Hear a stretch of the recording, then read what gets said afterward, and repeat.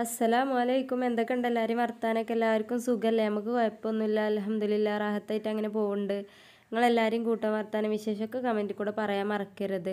ആദ്യമായിട്ട് കാണുന്ന കൂട്ടുകാരോ ഇതുവരെയായിട്ടും സബ്സ്ക്രൈബ് ചെയ്യാൻ മറന്ന കൂട്ടുകാരൊക്കെ ആണെന്നുണ്ടെങ്കിൽ സബ്സ്ക്രൈബ് ചെയ്യാനും അടുത്ത് വരുന്ന ബെല്ലും അമർത്തി കൊടുത്തിട്ട് ഓൾ ഓപ്ഷൻ നിൽക്കാനും നിങ്ങളാരും മടിച്ച് നിൽക്കല്ലേ കേട്ടോ അപ്പോൾ ഇൻഷാല്ല ഇന്ന് നമ്മൾ വന്നിരിക്കുന്നത് ചോറും മുട്ടയൊക്കെ വെച്ചിട്ട് വളരെ പെട്ടെന്ന് ഉണ്ടാക്കിയെടുക്കാൻ പറ്റിയ നല്ലൊരു സ്നാക്കിന്റെ റെസിപ്പി തന്നെയാണ്. അപ്പോൾ എങ്ങനെയാണ് ഇത് ഉണ്ടാക്കണമെന്നില്ല നോക്കട്ടോ.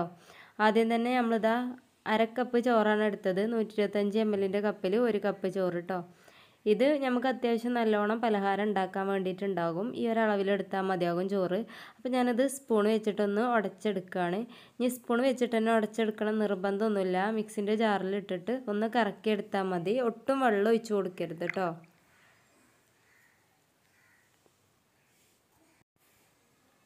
അഥവാ നിങ്ങൾ മിക്സിയുടെ ജാറിലിട്ടിട്ട് അത് ഒന്ന് കറക്കി എടുക്കുകയാണെന്നുണ്ടെങ്കിൽ ഒപ്പം തന്നെ നമ്മൾ ആ ഒരു എടുത്തു വെച്ച മുട്ട ഉണ്ടല്ലോ അതും കൂടി ഒപ്പം ചേർക്കാനും മറക്കരുത്. അപ്പോൾ നമുക്ക് കറക്റ്റായിട്ട് അരഞ്ഞ് കിട്ടും കേട്ടോ.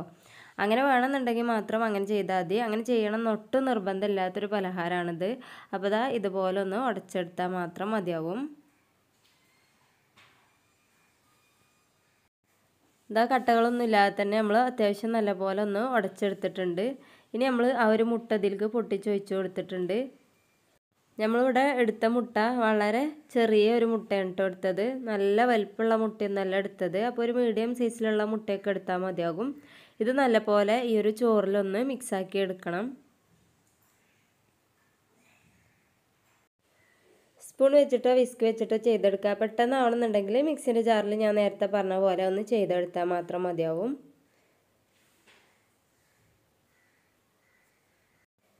ഇത് നമ്മൾ മിക്സാക്കി ഇങ്ങനെ കൊണ്ടുവരുമ്പോൾ നമുക്ക് നല്ലൊരു ടൈറ്റായിട്ട് കിട്ടും. ഇതാ ഇത്രയായാൽ ഇതിക്ക് പാകത്തിനുള്ള ഉപ്പ് ഇട്ട് കൊടുത്തിട്ടുണ്ട്. ഇനി നമുക്ക് ഇതിലേക്ക് വേണ്ടിയത് ഒരു വലിയ വലിയുള്ളിയാണ് ചെറിയൊരു വലിയുള്ളിയാണ് കേട്ടോ നമുക്ക് വേണ്ടിയത്. അത് ഇതാ ചെറുതാക്കി ഞാൻ ഇതുപോലെ ഒന്ന് മുറിച്ചെടുത്തിട്ടുണ്ട്. നല്ലോണം നൈസാക്കിയിട്ടൊന്നും അരിഞ്ഞെടുക്കേണ്ട ആവശ്യമില്ല കുറച്ചൊരു കട്ടിക്ക് തന്നെ ഇങ്ങനെ ചെറുതാക്കി ഒന്ന് മുറിച്ചെടുത്താൽ മാത്രം മതിയാവും.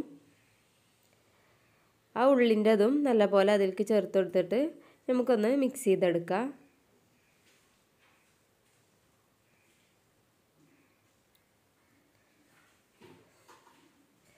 ഇതാ ഇത്രയും മിക്സ് ആക്കി കഴിഞ്ഞാൽ പിന്നെ നമുക്ക് ഇതിലേക്ക് മസാലപ്പൊടികളാണ് ഇട്ട് കൊടുക്കേണ്ടത്.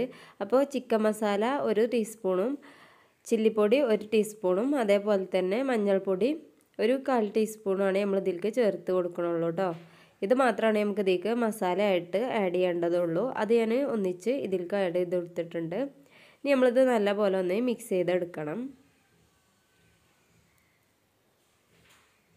ഞാനിവിടെ എടുത്തിട്ടുള്ളത് കാശ്മീരിന്റെ മുളക് പൊടിയാണ്. അതാവുമ്പോൾ നമുക്ക് കളർ നല്ല പോലെ കിട്ടും എരിവ് കൂടുതൽ ഉണ്ടാവില്ല ആ ഒരളവിൽ കിട്ടാൻ വേണ്ടിയിട്ടാണ്. പിന്നെ ചിക്കൻ മസാല ഒന്ന് ഇടുമ്പോൾ എരിവിനുള്ളത് എക്സ്ട്രാ ഇടേണ്ട ആവശ്യമില്ല സ്നേക്ക് ആവുകൊണ്ട് തന്നെ എക്സ്ട്രാ എരിവിനുള്ള മുളക് പൊടി ഇടുകയാണെങ്കിൽ ഒരു കുത്തൽ വരാനുള്ള ചാൻസ് ഉണ്ട് കേട്ടോ ഇനി അടുത്തതായിട്ട് നമുക്ക് ഇതിലേക്ക് വേണ്ടത് ബ്രെഡാണ് ഞാനിവിടെ രണ്ട് ബ്രെഡാണ് ഈ ഒരു അളവിലേക്ക് എടുത്തിട്ടുള്ളത്. നിങ്ങൾക്ക് കൂടുതൽ ബ്രെഡ് വേണമെന്നുണ്ടെങ്കിൽ അതിനനുസരിച്ച് നിങ്ങൾക്ക് കൂടുതൽ ബ്രെഡ് എടുക്കാം കേട്ടോ ഈ ഒരു അളവിൽ തന്നെ ഇത് നമ്മൾ മസാല ഒക്കെ ആഡ് ചെയ്തതിന് ശേഷം ബ്രെഡ് കൂടുതൽ വേണമെന്നുണ്ടെങ്കിൽ അതിനനുസരിച്ച് എടുക്കുക ചെ ബ്രെഡ് നമുക്കൊന്ന് ചെറുതാക്കിയിട്ട് മുറിച്ചെടുക്കാം കേട്ടോ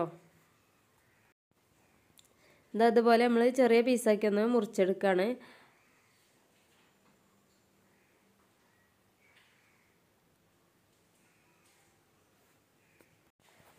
നിങ്ങൾക്കിത് ഏത് ഷേപ്പിൽ വേണമെങ്കിലും മുറിച്ചെടുക്കട്ടോ. ഏത് ഷേപ്പിൽ മുറിച്ചാലും നമുക്ക് കിട്ടണത് ഒരേ ടേസ്റ്റിലുള്ള പലഹാരമായിരിക്കും ഞാനിതാ ഇതുപോലെ ഒന്ന് മുറിച്ചെടുത്തിട്ട് ഇതിന്റെ നടുക്ക് ഒരു മുറി കൂടി മുറിച്ചെടുക്കണുണ്ട്.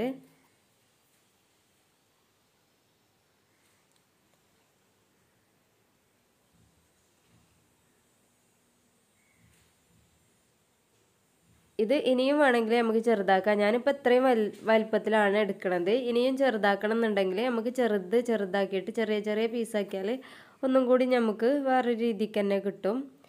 ഇനി ഇതാ ഇത്രയും ആയാൽ നമ്മൾ ഈ ഒരു ആദ്യം തന്നെ ചെയ്ത് വെച്ച ചോറിന്റെയും മുട്ടന്റെ ആ ഒരു മിക്സിലേക്ക് നമുക്ക് ഇതും കൂടി ചേർത്ത് കൊടുക്കാം. എന്നിട്ട് എല്ലാ ബ്രെഡിന്റെ പീസിലും ഈ ഒരു മസാല ആവണ രീതിക്ക് നമുക്കിതൊന്ന് ഇളക്കിയിട്ട് യോജിപ്പിച്ചെടുക്കണം. ഈ ഒരു പലഹാരം എന്ന് പറഞ്ഞാൽ നല്ല ടേസ്റ്റിയാണ് അതേപോലെ തന്നെ പെട്ടെന്ന് തന്നെ നമുക്കിത് കഴിക്കാൻ വേണ്ടിയിട്ട് പറ്റണ നല്ല രീതിക്കുള്ള ഒരു പലഹാരമാണ്. തീർച്ചയായിട്ടും എല്ലാവരും ഒന്ന് ട്രൈ ചെയ്യണം കേട്ടോ. ഇതാ അപ്പോൾ ഇത് നമ്മൾ ആ ഒരു രീതിക്ക് അത് കൂട്ടി വെച്ചിട്ടുണ്ട്. ഇനി നമ്മളിത് വേവിച്ചെടുക്കാൻ വേണ്ടിയിട്ട് എണ്ണ വെക്കുന്നുണ്ട് ഈ ഒരു പലഹാരം നമുക്ക് വളരെ പെട്ടെന്ന് തന്നെ ഉണ്ടാക്കിയെടുക്കാൻ വേണ്ടിയിട്ട് പറ്റും. പിന്നെ നമ്മളെ ചാനലിൽ ഈ റെസിപ്പി മാത്രമല്ല കേട്ടോ ഒരുപാട് റെസിപ്പികളൊക്കെ അപ്ലോഡ് ആക്കിയതുണ്ട്. കാണാത്ത കൂട്ടുകാരുണ്ടെങ്കിൽ കാണാൻ മറക്കരുത്.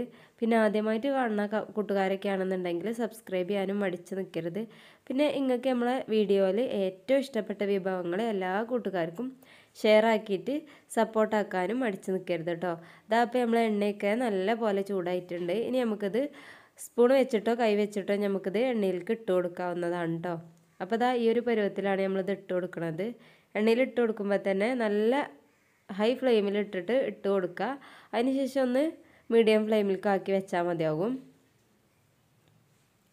ഒരുപാട് എണ്ണയൊക്കെ വെച്ചിട്ടാണെന്നുണ്ടെങ്കിൽ ഒറ്റ പ്രാവശ്യം കൊണ്ട് തന്നെ നമുക്കിത് മുഴുവനായിട്ടും വറുത്ത് കോരാൻ വേണ്ടിയിട്ട് പറ്റും കേട്ടോ ഇതാ ഒരു ഭാഗം ഒന്നിങ്ങനെ ആയി വന്നാൽ ഇങ്ങനെ ഇളക്കി മറിച്ച് കൊടുക്കുക. മറിച്ച് മറിച്ച് കൊടുത്തിട്ട് എല്ലാ ഭാഗവും ഒരുപോലെ ഇത് വെന്ത് കിട്ടണം. അപ്പോഴാണ് ഇതിന്റെ കറക്റ്റ് ടേസ്റ്റ് കിട്ടുള്ളൂ. എല്ലാ ഒരു ഇതും ആ ഒരു മസാലയൊക്കെ ഉള്ളിലേക്ക് പിടിച്ച് നല്ല വൃത്തിക്കുള്ള നല്ലൊരു സ്നേക്കായിട്ട് തന്നെ കിട്ടും. ചായന്റെ ഒപ്പമൊക്കെ ആണെങ്കിലും അല്ലാന്നുണ്ടെങ്കിൽ വെറുതെ കഴിക്കാൻ വേണ്ടിയിട്ട് നമുക്ക് നല്ല ടേസ്റ്റോട് കൂടി കഴിക്കാൻ പറ്റിയ നല്ലൊരു സ്നേക്കാണ് കേട്ടോ അപ്പോൾ തീർച്ചയായിട്ടും എല്ലാവരും ട്രൈ ചെയ്യണം.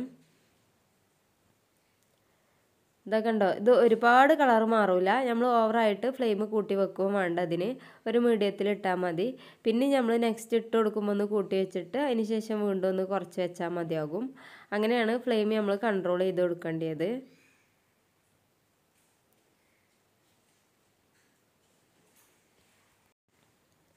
ഇപ്പോൾ ഇതാ ഇത് ഏകദേശം ആയിട്ടുണ്ട്. ഇത് നമുക്ക് എണ്ണയിൽ നിന്ന് കോരി മാറ്റാം.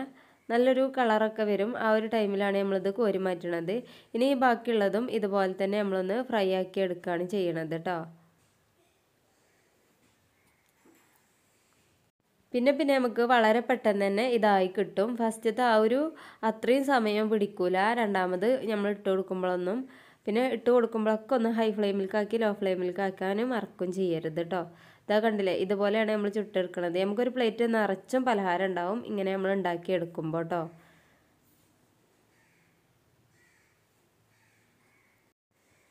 ഇത് നമുക്ക് കൈ വെച്ചിട്ടാണെങ്കിൽ വളരെ പെട്ടെന്ന് തന്നെ ഇട്ട് കൊടുക്കാൻ വേണ്ടിയിട്ട് പറ്റും. ഷേപ്പൊക്കെ പിന്നെ നമ്മളെ ഇഷ്ടത്തിനനുസരിച്ച് നമുക്ക് ആക്കി എടുക്കാവുന്നതാണ്.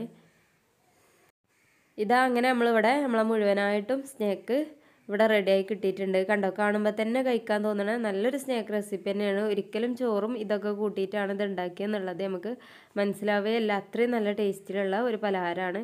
തീർച്ചയായിട്ടും എല്ലാവരും ട്രൈ ചെയ്യണം. എന്നിട്ട് നിങ്ങളെ അഭിപ്രായങ്ങൾ പറയാൻ മറക്കരുത് കേട്ടോ ഇതാ കണ്ടില്ലേ? ഇതുപോലെയാണ് നമുക്ക് ഈ ഒരു സ്നാക്ക് കിട്ടിയിട്ടുള്ളത്.